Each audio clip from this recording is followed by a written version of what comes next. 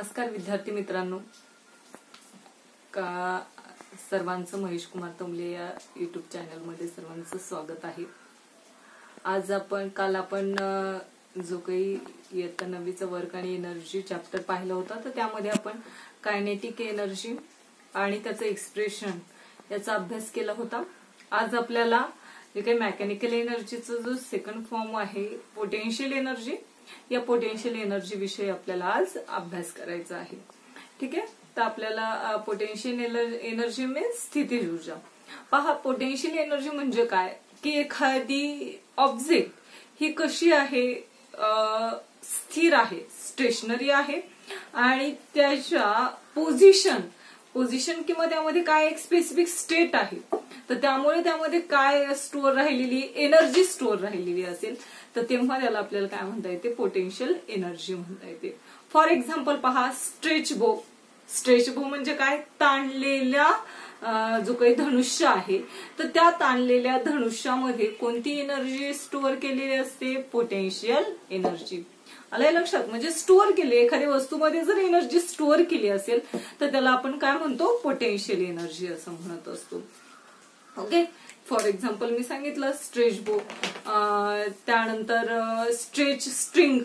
String आपण ताणलेली string असेल तर त्यामध्ये सुद्धा काय असते? पोटेन्शियल एनर्जी असते. किंवा स्टोअर वॉटर ऍट हाईट म्हणजे उंचावरती साठवलेलं पाणी यामध्ये सुद्धा कोणती एनर्जी असते? पोटेन्शियल एनर्जी असते. ओके मग आता यावरून तुम्हाला पहा सांगितलेलं आहे. ए, जे काही ट्रायधीस सांगितलेलं आहे तुम्हाला पुस्तकामध्ये पोटेन्शियल एनर्जीचं तर यामध्ये तुम्हाला दिलेलं आहे पहा. And arrow is release from a stretch bow म्हणजे स्ट्रेच बो मधून सोडलेला बाण. आता यामध्ये कोणती एनर्जी असेल बरं? स्ट्रेचबो ताणलेला जो काही धनुष्य असतो तर त्यामध्ये कोणती एनर्जी असेल? पोटेन्शियल एनर्जी असेल. आणि त्यामधून आपण त्या स्ट्रेचबो मधून काय सोडलेला आहे रे?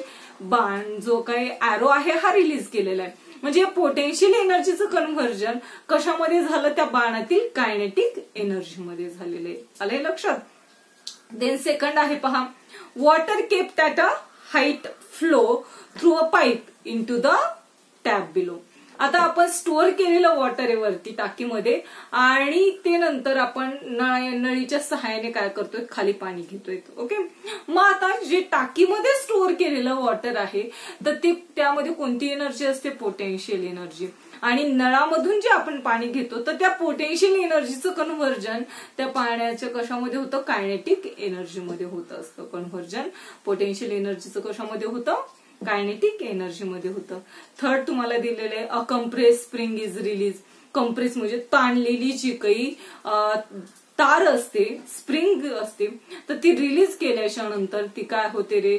खालीवर खालीवर म्हणजे आंदोलित होत असते. ऑसिलेट होते हे आपल्याला माहितीये. म्हणजे पहा यामध्ये कंप्रेस केल्याच्यानंतर त्यामध्ये कोणती एनर्जी असते? पोटेन्शियल एनर्जी आणि ज्यावेळेस आपण रिलीज करतो त्यावेळेस तिचं कन्व्हर्जन कशामध्ये होतं? कायनेटिक एनर्जीमध्ये होत असतं. ओके मग यासाठी आपण हे जे काही वरचे एक्झाम्पल पाहिले आणि त्यासाठी आपण वर्डही युज केले पोटेन्शियल एनर्जी कशासाठी आणि कायनेटिक एनर्जी आहे ती कशासाठी आहे ते आपण पाहिलं. देन पहा.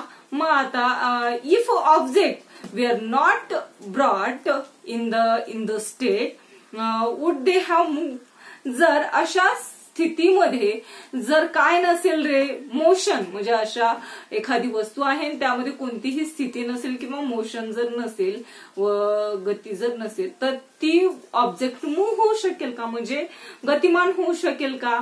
तर त्याचा आन्सर काय सांगता येईल? No if the object were not brought in the state they would not have move जर वस्तूमध्ये कोणतीही प्रकारची स्थिती नसेल किंवा अवस्था नसेल तर ती वस्तू काय होऊ शकत नाही? हलू शकत नाही. आणि त्यामुळेच पहा आपल्याला त्यावरूनच कशाची डेफिनेशन सांगता येते? पोटेन्शियल एनर्जीची म्हणजे आपण जर टाकीमध्ये काय केलेले पाणी तसं स्टोअर करून ठेवलेलं आहे आणि टॅप म्हणजे नळच चालू केला नाही तर पोटेन्शियल एनर्जीचं कन्व्हर्जन कायनेटिक एनर्जीमध्ये होईल का? नाही.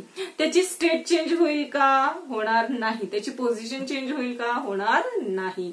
मग त्यामुळे ते ऑब्जेक्ट जे आहे हे मूव्ह होऊ शकत नाही. म्हणजे पोटेन्शियल एनर्जी यावरून आपल्याला पोटेन्शियल एनर्जी डेफिनेशन सांगता येते पहा. The energy store in an object because of its specific state or position is called potential energy काय? The energy store of an object because of its specific state and position is called potential energy म्हणजे पदार्थाच्या विशिष्ट अवस्थेमुळे किंवा कशामुळे? स्थानामुळे. त्यात जी ऊर्जा निर्माण होत असते तर जी ऊर्जा सामावलेली असते त्या ऊर्जेला आपल्याला काय म्हणायचे? पोटेन्शियल एनर्जी म्हणजे स्थितीज ऊर्जा असे म्हणतात. आलंय लक्षात? The energy store in an object because of it specific state or position is called potential energy मग आता यासाठी तुम्हाला काय करायचंय रे? एक uh, चॉक घ्यायचा आहे म्हणजे खडू घ्यायचंय. आणि फाईव्ह सेंटीमीटर वरून तो काय करायचा आहे रिलीज करायचा आहे फ्लोअरपासून. म्हणजे जी तुमची फरशी असेल तर त्यापासून पाच सेंटीमीटर वरून तो चॉक काय करायचा आहे सोडून द्यायचा आहे रिलीज केल्याच्यानंतर पहा.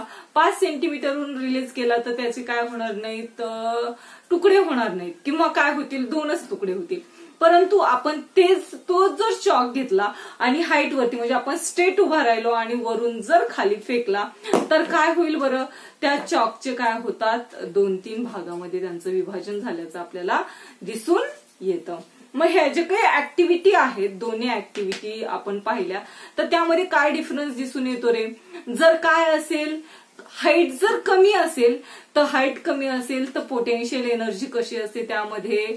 कमी असते. म्हणजे जर आपण काय केला चॉक हा पाच सेंटीमीटर वरून जर सोडला तर त्याची जी काही कायनेटिक एनर्जीमध्ये कन्व्हर्जन होतं तर कायनेटिक एनर्जी कशी असते?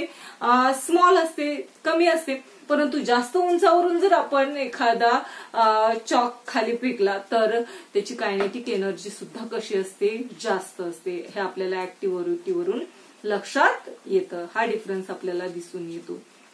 आलंय लक्षात त्यामुळेच पहा आपल्या जे काही पाण्याच्या टाक्या असतात तुम्ही पाहिलं असेल खाली कधीच ठेवत नाहीत. आणि खालून कोणी पाईपलाईन केलेली घरामध्ये पाहिलेलं आहे का? नाही. कारण की त्यामध्ये जी काही कायनेटिक एनर्जी निर्माण होत असते त्या पाण्यापासून तर ती कमी असते. त्यामुळे जे काही आपले टाक्या असतात हे कुठे ठेवतात रे? ऍट अ हाईट म्हणजे उंचावरती ठेवतात. उंचावरती ठेवल्यामुळे त्याचं कायनेटिक एनर्जीमध्ये जे कन्व्हर्जन होत असतं हे जास्त वेगाने म्हणजे त्याची व्हॅलॉसिटी कशी असते रे? जास्त असल्याचं आपल्याला दिसून येतं. मग यावरूनच पहा आपल्याला त्याचे एक्झाम्पलही आपल्याला सांगता येतील. पोटेन्शियल एनर्जीचे काय सांगता येते? स्ट्रेच बो त्यानंतर कॉम्प्रेस स्ट्रिंग काय सांगता येतील याचे? स्ट्रेच बो स्ट्रेच बो त्यानंतर सेकंड एक्झाम्पल सांगता येईल. कॉम्प्रेस स्ट्रिंग असे काय तुम्हाला एक्झाम्पल सांगता. येतात एक्सेट्रा असे तुम्ही दुसरेही स्टोअर वॉटर ऍट हाईट हेही सांगू शकतो. असे एक्झाम्पल तुम्ही सांगू शकता. ओके मग आता यावरून आपल्याला पहा. याचं एक्सप्रेशन पाहायचं आहे. पोटेन्शियल एनर्जीचं ते एक्सप्रेशन आपण पाहू expression of potential energy potential एनर्जीचं काय पाहायचंय आपल्याला? एक्सप्रेशन पाहायचे.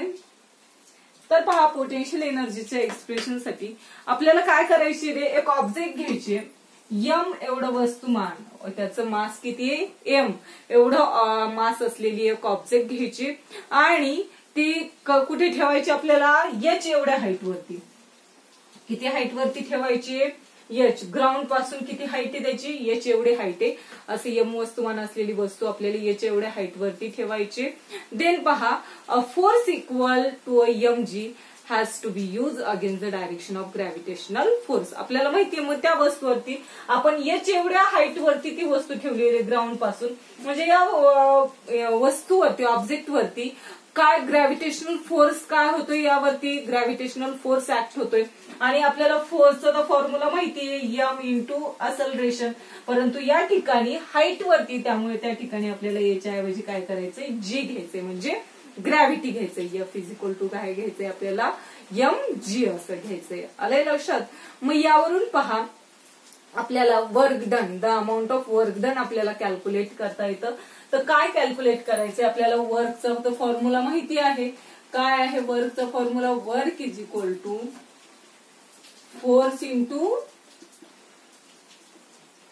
displacement मग आता या ठिकाणी आपल्याला माहिती वर्क हे डब्ल्यू मध्ये डिनोटेट करतात. आणि पोटे फोर्स जो आहे फोर्स म्हणजे काय? मास इंटू जी म्हणजे एम जी आणि डिस्प्लेसमेंट किती झालेलं आहे रे? एच एवढं डिस्प्लेसमेंट झालेलं आहे. म्हणजेच डब्ल्यू इज इक्वल टू आपण काय सांगू शकतो? एम जी एच वर्क किती झालेलं आहे? एम जी एच एवढं वर्क झालेलं आहे. मग the amount of potential energy store in object because of displacement ही जी काही ऑब्जेक्टमध्ये जी पोटेन्शियल एनर्जी स्टोअर झालेली आहे ही कशामुळे uh, झाली रे? डिस्प्लेसमेंट म्हणजे तिचं विस्थापन झाल्यामुळे काय झाली? यामध्ये पोटेन्शियल एनर्जी निर्माण झाली. आणि त्यामुळेच आपण या ठिकाणी सांगू शकतो W is equal to potential energy मग आपण डब्ल्यूच्या ऐवजी काय करू शकतो रे? पोटेन्शियल एनर्जी लिहू शकतो. मग पोटेन्शियल इज इक्वल टू काय झालं? M G H mass into gravity gravity into height हे कशाचं? पोटेन्शियल एनर्जीचं एक्सप्रेशन झालं. म्हणजेच displacement of height H causes energy equal to the M G H to be store in the object म्हणजे वस्तूमध्ये जी energy store केल्या जाते साठवून ठेवल्या जाते वस्तूमध्ये तर ती किती असते? यम जी एच एवढी एनर्जी असते. ओके हे कशाचं झालं एक्सप्रेशन आपलं पोटेन्शियल एनर्जीचं एक्सप्रेशन पाहिलं. आता यानंतर आपल्याला त्यावरचं एक एक्झाम्पल पाहायचंय पहा. आपण त्यावरचं एक्झाम्पल पाहू काय आहे ते? एक्झाम्पल अगोदर आपण लिहून घेऊ. ते तुम्हाला डेफिनेशन वगैरे समजली असेल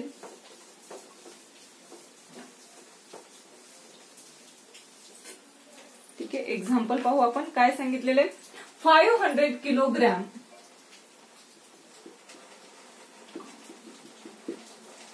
of water five hundred kilogram water is a store in is stored in overhead tank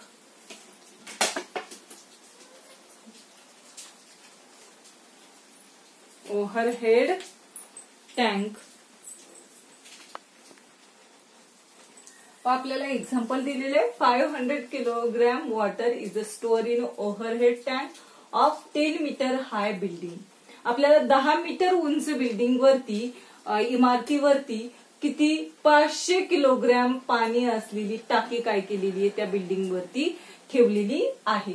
मग पहा काय कॅल्क्युलेट करायचंय आपल्याला? The amount of potential difference store in the water म्हणजे त्या पाण्यामध्ये किती पोटेन्शियल डिफरन्स साठवलेलं आहे ते आपल्याला कॅल्क्युलेट करायचंय. मग आता यामध्ये पहा आपल्याला काय काय दिलेलं आहे? तर आपण गिफन लिहून घेऊ. काय दिलेलं आहे पहा? आपल्याला वॉटर म्हणजेच पाण्याचं मास दिलेलं आहे. वस्तुमान किती आहे? मास किती दिलेलं आहे? फाईव्ह हंड्रेड किलोग्रॅम त्यानंतर हाईट एच दिलेली किती येते? टेन मीटर देन आपल्याला काय दिलेलं आहे रे? पुढे आपल्याला ग्रॅव्हिटी तर माहिती आहे जी किती आहे? Nine point eight metre per second square okay मग आता आपल्याला फक्त फॉर्म्युला टाकायचे पोटेन्शियल डिफरन्स काढायचे त्यासाठी. पोटेन्शियल डिफरन्स नाही. सॉरी पोटेन्शियल एनर्जी काढायची. Potential energy is equal to M G H मग आता एम किती दिलेलं आहे आपल्याला? Five hundred into G nine point eight into H ten आता पहा आपल्याला काय इथं फक्त पाचशे आणि दहाचा जर गुणाकार केला तर फक्त एक शून्य वाढेल इंटू नाईन पॉईंट एट आणि या दोन्हींचं काय करायचंय? आपल्याला गुणाकार करायचंय. तीन शून्य तर येणारच आहेत. काय? आठा पंचे चाळीस. हात चाला एक. नऊ पाचशे पंचेचाळीस पंचेचाळीस चार अठ्ठेचाळीस सॉरी नऊ पाचशे पंचेचाळीस एकोणपन्नास. किती? एकोणपन्नास. आले लक्षात? आणि किती एक घर सोडून पॉइंट आहे त्यामुळे इथे काय केलं आपण? पॉइंट दिला. म्हणजे आपला अँसर किती आलं? पोटेन्शियल डिफरन्स किती आलेला आहे? फोर्टी नाईन थाउजंड मग पोटेन्शियल एनर्जीचं युनिट काय? जूल किती आलं potential energy four thousand forty nine thousand joule okay या ठिकाणी आपण थांबू. या ठिकाणीच आपण काय करू? आजचं लेक्चर हे स्टॉप करू. कारण की आपलं पोटेन्शियल एनर्जी जो पॉइंट आहे हा पूर्णतः संपलेला आहे. समजलं असेल तुम्हाला हे एक्झाम्पलही यावरती आधारित जर एक्झाम्पल आली तर तुम्हाला सोडवता येणं आवश्यक आहे. ओके या ठिकाणीच आजचं आपण लेक्चर स्टॉप करू. आणि उद्याच्या लेक्चरमध्ये आपल्याला transformation of energy and law of conservation of energy हे दोन पॉईंट आपण पाहणार आहोत. या ठिकाणीच आपण थांबू.